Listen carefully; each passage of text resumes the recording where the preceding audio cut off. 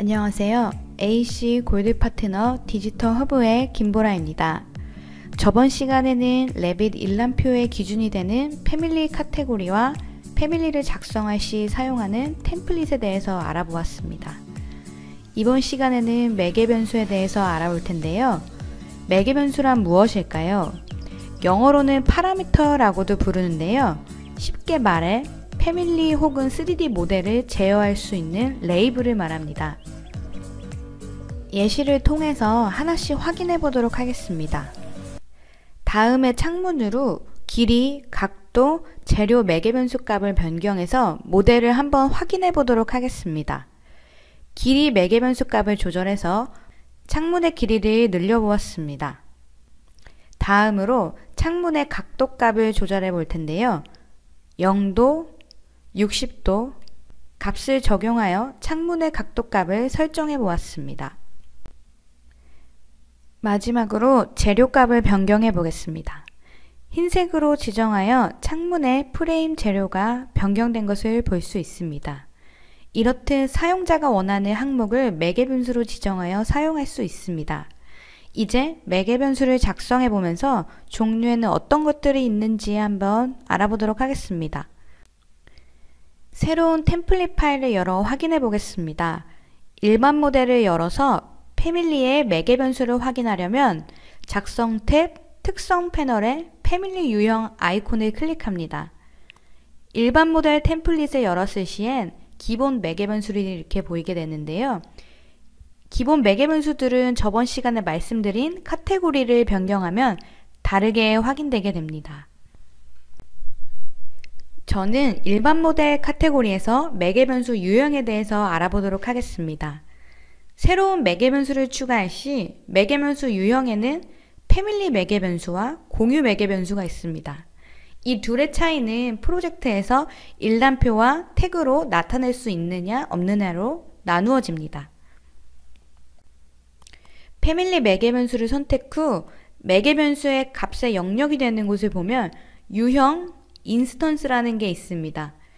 두 가지 차이점을 돌출 형상을 만들어서 한번 확인해 보도록 하겠습니다. 돌출 형상에 가로 길이, 세로 길이 매개 변수를 지정해서 작성해 보도록 하겠습니다. 먼저 패밀리의 유형을 클릭, 매개 변수 새로 만들기, 이름은 가로 길이, 유형 선택 확인을 클릭합니다. 한 번 더 매개 변수 새로 만들기, 이름은 세로 길이, 세로 길이 매개 변수는 instance를 선택한 후 확인을 클릭합니다. 추가한 가로 길이, 세로 길이 매개 변수에 값을 500씩 지정해 주겠습니다. 가로 길이, 세로 길이 매개 변수를 지정할 참조 평면을 다음과 같이 미리 작성해 주고요. 다음으로 매개 변수를 지정할 치수선을 작성해 보겠습니다.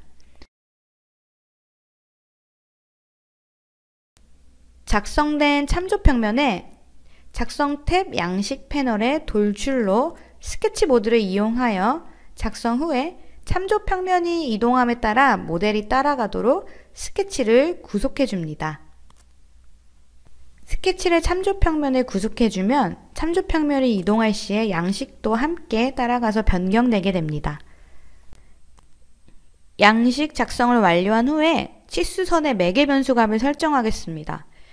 형상의 가로 길이에 해당하는 치수선을 선택 후에 상단의 레이블을 클릭하여 미리 만들어 놓은 가로 길이 매개 변수를 클릭합니다. 형상의 세로 길이 치수선을 선택 후에 레이블의 세로 길이 매개 변수를 클릭합니다. 완료 후 치수선에 제가 지정한 매개 변수 이름들이 확인됩니다. 매개 변수가 잘 추가되었는지 패밀리 유형 창을 열어보면 추가했던 가로 길이, 세로 길이가 확인됩니다. 이 두 가지 값들을 천으로 변경해서 매개 변수로 지정한 치수에 값이 변경되어 형상이 함께 변경되는 것을 볼 수 있습니다. 프로젝트에 load해서 어떻게 다르게 사용되는지 보겠습니다. 이해를 돕기 위해 패밀리는 3개를 배치하겠습니다. 배치된 패밀리를 클릭해서 매개 변수를 한번 확인해 보겠습니다. 1번 패밀리 클릭 시 instance 매개 변수는 특성 창에 확인되며 가로 길이 매개 변수는 유형 편집 창에서 확인됩니다. 특성 창의 경우 선택된 패밀리가 프로젝트에서 개별적으로 제어되는 창을 말하며 유형 편집 창은 패밀리의 속성 자체 값을 제어하는 것으로 배치된 모든 패밀리가 적용됩니다. 선택한 패밀리의 instance 값을 한번 변경해 보겠습니다. instance 값을 변경 시 선택된 패밀리만 값이 변경됩니다. 유형 값을 변경 시에는 모든 패밀리의 길이 값이 변경되게 됩니다. 다음과 같이 instance와 유형 매개 변수의 차이점을 알아보았습니다. 프로젝트에 배치된 패밀리의 객체의 속성을 변경해서 전체적으로 제어할 시에는 유형 매개 변수를 씁니다.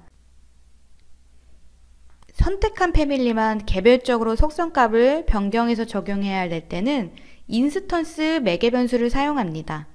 instance 매개 변수는 주로 수식을 적용하여 값이 변경되는 매개 변수에 사용되곤 합니다.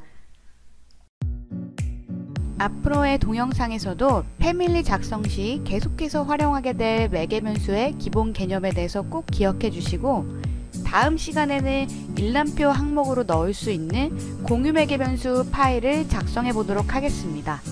감사합니다.